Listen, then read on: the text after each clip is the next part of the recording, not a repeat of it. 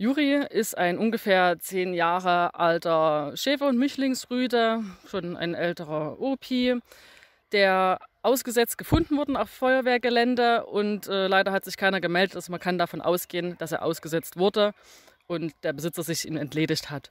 Er hatte zum Zeitpunkt des Fundes schon eine Lahmheit hinten links und es stellte sich dann bei uns heraus, dass er einen Kreuzbandriss hat, welcher dann bei uns operiert wurde und er befindet sich jetzt noch im Heil Heilungsprozess. Also er darf jetzt schon ein bisschen länger gehen, aber er darf nicht rennen und nicht springen und jetzt auch kein Ball spielen mehr.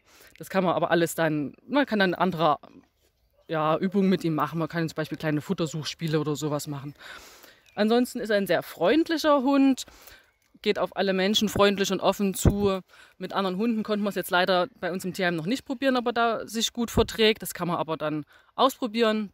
Und wir suchen für ihn ein Zuhause, in dem er ein ruhiges Umfeld hat, ohne kleine turbulente Kinder, sondern gerne auch bei, bei älteren Menschen. Es muss unbedingt ebenerdig sein, damit er keine Treppen mehr laufen muss. Und schön wäre es, wenn ein kleiner Garten oder so mit dran wäre, damit er schön in der Sonne liegen kann. Das wird ihm sehr gut gefallen.